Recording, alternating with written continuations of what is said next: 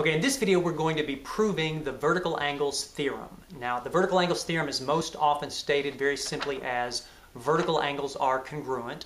And up until now we've been referring to this as the vertical angles conjecture because up to now we've just been uh, assuming that that statement is true even though we have not proved it. Well, we're getting ready to prove it right now.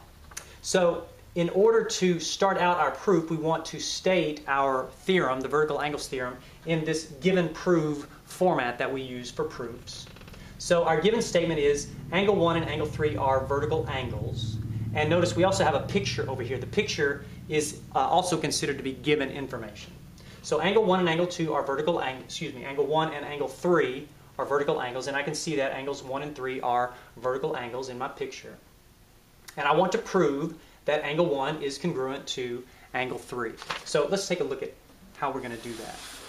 We're going to start off doing this as a two-column proof. So there in your notes you have your two columns, statements and reasons, and you actually already have all of the statements in the proof laid out here in the statements column. And you can see there are going to be a total of 10 statements in this proof. So let's fill in the reasons for each one of these statements.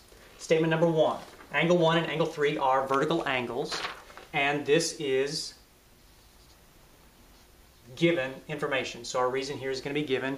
Almost all the time, the very first statement in a proof is going to be given information.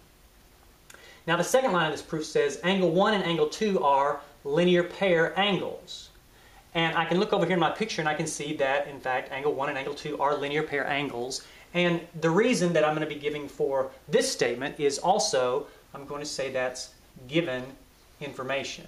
And now you'll notice this information wasn't actually given to me in the given statement of my proof here. It wasn't given here, but it is given to me in the picture that accompanies this proof. So angle 1 and angle 2 are linear pair angles. That information is given in the picture.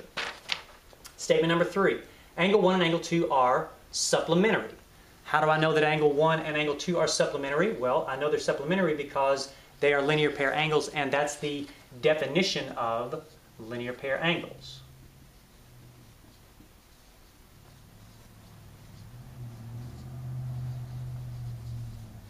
Remember, the definition of linear pair angles says linear pair angles are adjacent and supplementary. So that's how I know angles 1 and 2 must be supplementary. Statement number 4.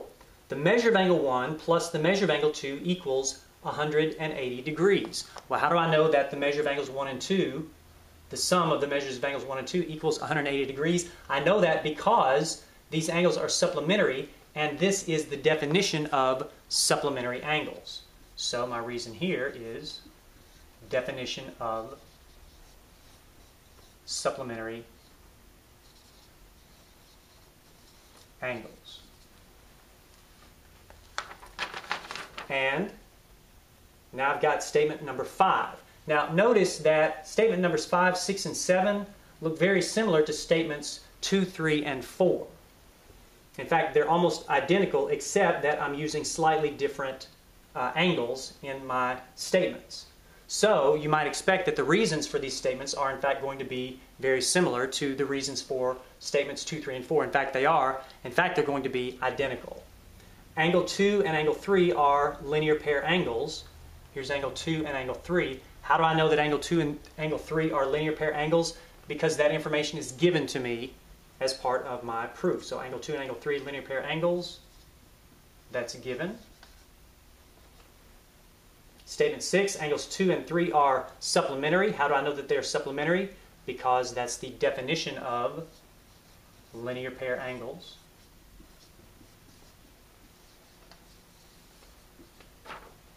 And the measure of angle 2 plus the measure of angle 3 equals 180 degrees. And how do I know that? Well, again, since angle 2 and 3 are supplementary, they must add up to 180 degrees. That's the definition of supplementary angles. Okay, so let's stop here and I want to draw, get you to draw a little box around these three statements here 2, 3, and 4, and also 5, 6, and 7, just to kind of highlight the fact that these three groups of statements are very similar. In fact, you know, they're, they're identical, except in these three statements, I'm talking about angles 1 and 2. In these three, I'm talking about angles 2 and 3. All right, let's go on to statement number 8.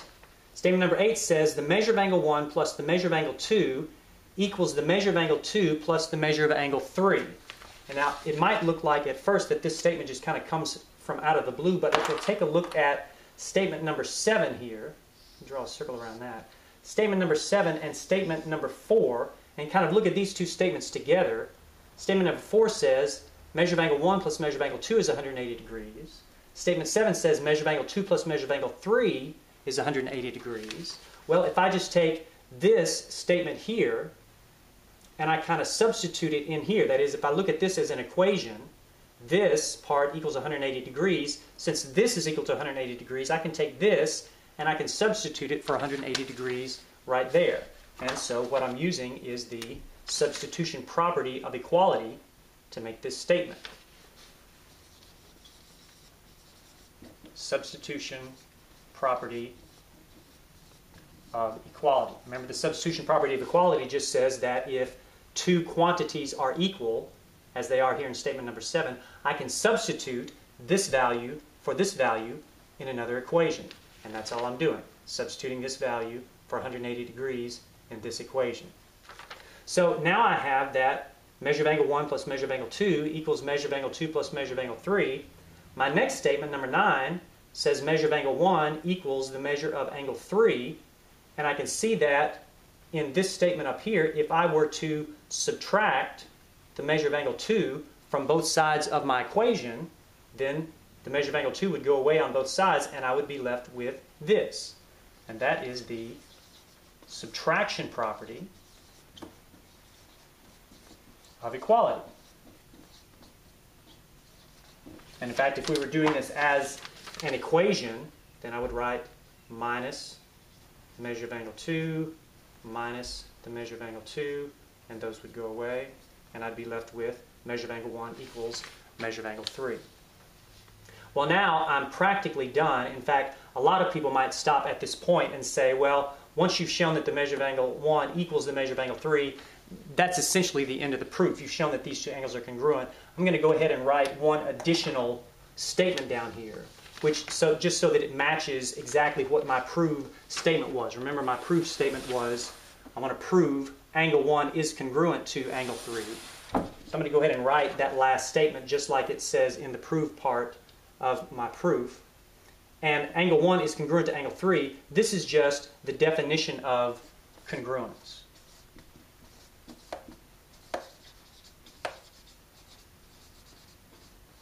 In other words, if two angles have exactly the same measure, that means they are exactly the same size, then those two angles are congruent because that's what that's what congruence means for angles. It means angles that are the same size. Now, in your notes, you also have on the back part of your notes, you also have this exact same proof in flow proof format. And you'll notice that all of the same statements that are given here in two column proof format, all those same statements are given in the flow proof, statements 1 through 10. Now, what I want you to do is I want you to go and fill in in the flow proof, I want you to go and fill in the reasons for each one of these statements. And we will talk some tomorrow about the flow proof and why it's laid out the way it is.